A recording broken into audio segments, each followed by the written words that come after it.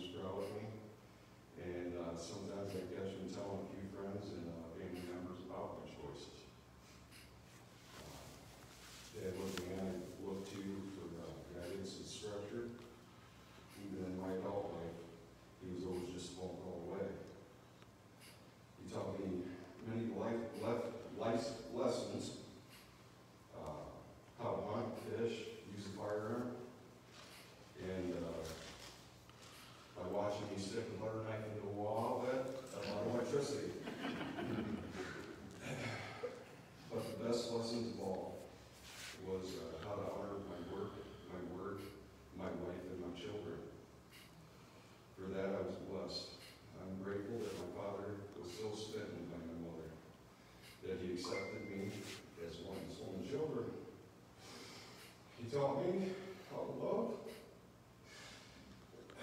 Plus, it was great, a great deal for me and my sister, as we got some uh, new aunts and uncles who were pretty cool. And yes, Uncle Chet, I'm talking about you. Not to mention the adventurous cousins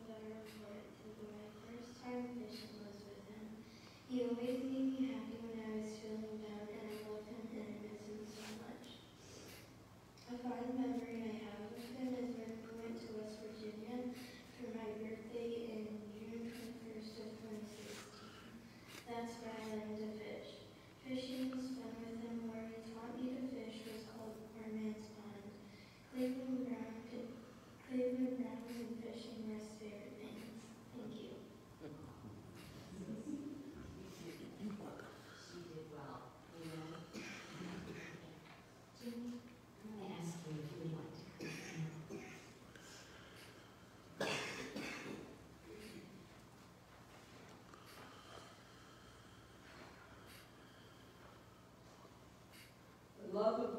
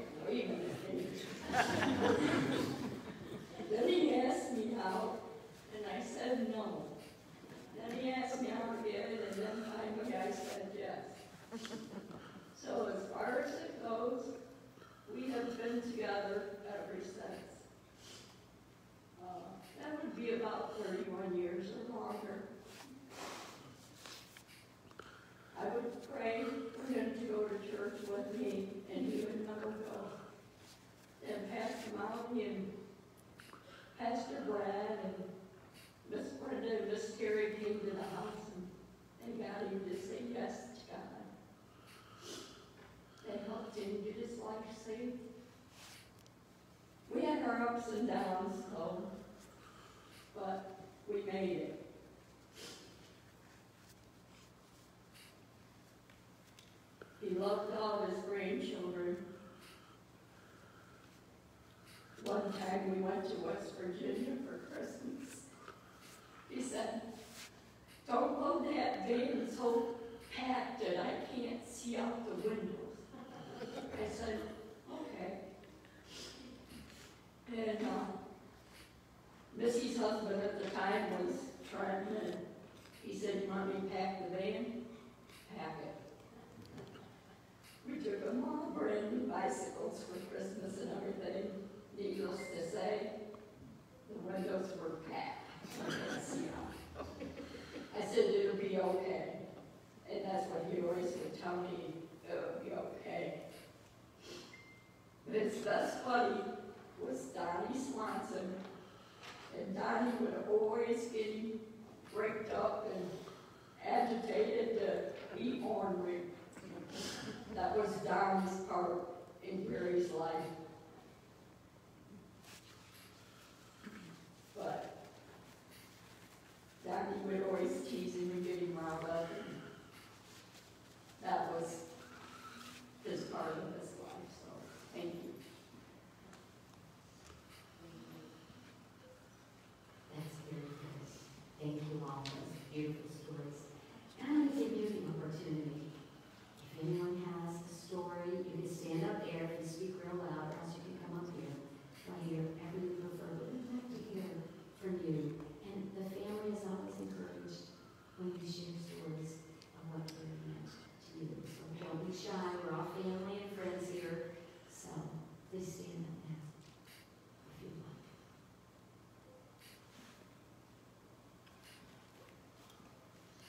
Uh, For those of you who don't know who I am, I am the son of Gary's oldest sister. So I'm his nephew, but I had a fairly unique lifetime with Gary and all my aunts and uncles in that actually I was, I'm uh, just under five years younger than Gary. So I actually grew up as a kid with my aunts and uncles. I have two living an aunt and uncle that are younger than me, and two who passed that were younger than me. So, like I said, we grew up as kids, playing together, you know, to Gary, I was probably more of the little brother you couldn't get rid of because of the age difference. But I was there and I enjoyed it. Uh, we did get a little separated, as everybody normally does with family, because once you get your family, you, and especially with us, it's not that far, but there's a fairly big distance between I lived down in the Akron area where they used to live at one time. Uh, we would go out on the farm and in the woods all together, playing tag, hide and seek and stuff. Later in life, we did get back together some. And I enjoyed a lot of that. Uh, to the point where, as an example, when Gary and Genny got married, I was the DJ basically. I brought my stereo up and played the music at their reception. Uh, then, you know, we got together and did some partying and drinking a lot. And I was going to do something, but my body didn't cooperate with me. I'm a 13-year colorectal cancer survivor. And what I was gonna do, I have a colostomy on my stomach. I was gonna pull it up and then put it down. And then tell everybody that they just got mooned in my imitation of what Gary loved to do. Thank you.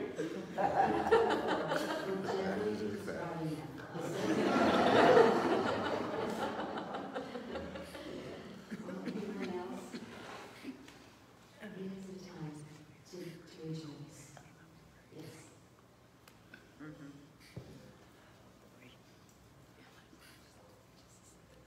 Thought I'd break it up a little bit. You did. My name's Mark Cochrane. Uh, I wasn't going to speak, but, um, every kid needs dad. Dad was not able to be my dad, except for, you know, having me. But, uh, I loved my dad, and I'm very glad that he was able to be your old dad and love you all the way dad should.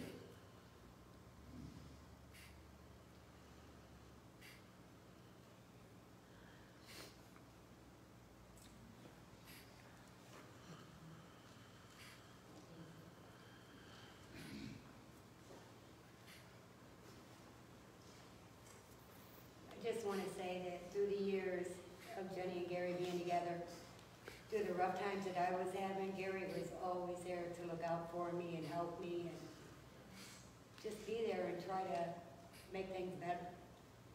Did you want to? Sorry, Dr. Christina. I was just gonna tap into what Jimmy had said, and I remember one time, it was Uncle Gary's fiftieth birthday. And they had a party for him, and Ma and Eric came up from South Carolina, and it was a big surprise, and we couldn't wait. And, you know, Gary liked to do some drinking and have fun. And one thing that will never leave my mind about this 50th birthday party they had a shed in the backyard, and after a few drinks, you know, he felt pretty invincible, as we all know. so he literally climbed to the top of the shed and mooned everybody from the roof of the shed before he jumped off. And it's just, you know, goes to say how much of a jokester he was and how much he did value family because he always we were all there and together, and he was just as much of a clown then as I imagine he was when he was just him and Genny at home by themselves. Guess I never knew that side of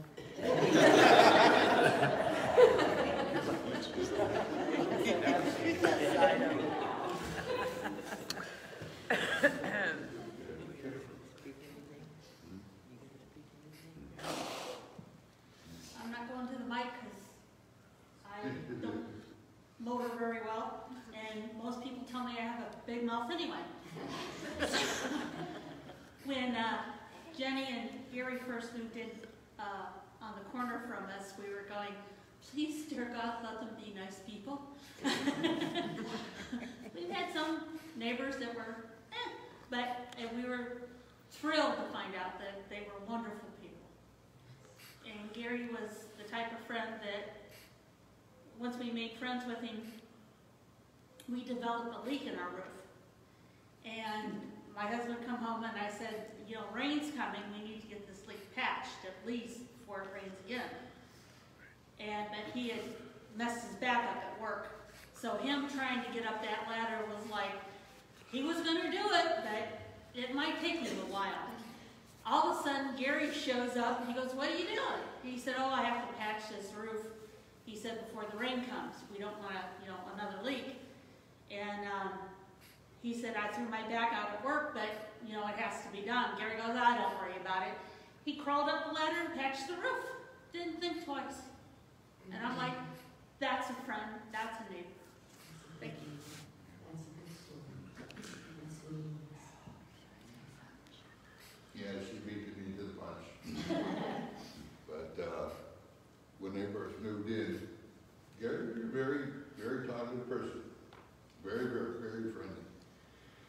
obvious that he was a friend at the beginning.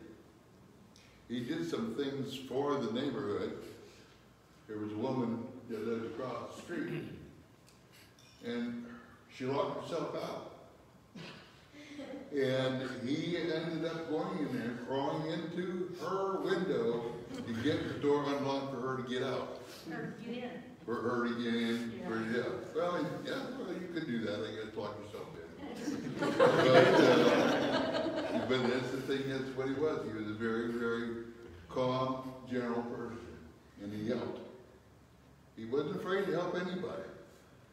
And there was oftentimes, you know, we sat down and got a photo somewhere where we were sitting out in his yard.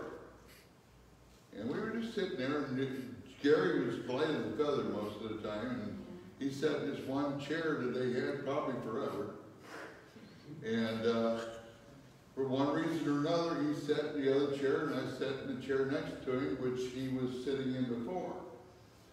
And I probably weighed about fifty more pounds than what he did. And I went through it and I had my knees up to my nose. But all in all, it was a good time with him and, uh, I'm just grateful to ha- have him as a neighbor. Of course, then again, he sends his kids over, grandkids over, hey, they'll buy something off of you when they have. But I love him, I loved him for that because he knew us. But see, I don't think that I can honestly say that I don't believe that he didn't have any friend that he didn't know. He always seemed to make a friend. And pretty much about all I got to say. I'm just so grateful that he was in our lives and grateful to have a family, yeah.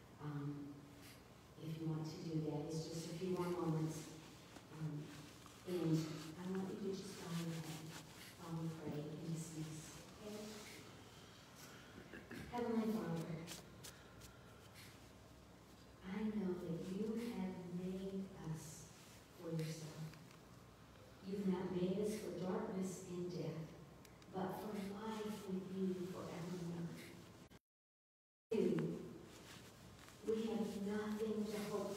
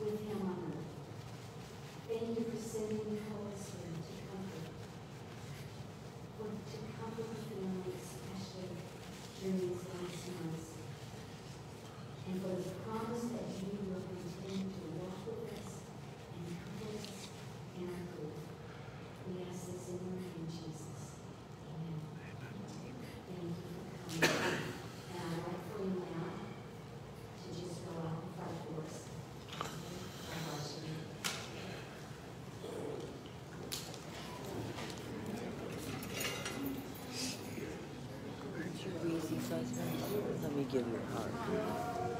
Um, you doing all right? Okay. I'm going to take this outside.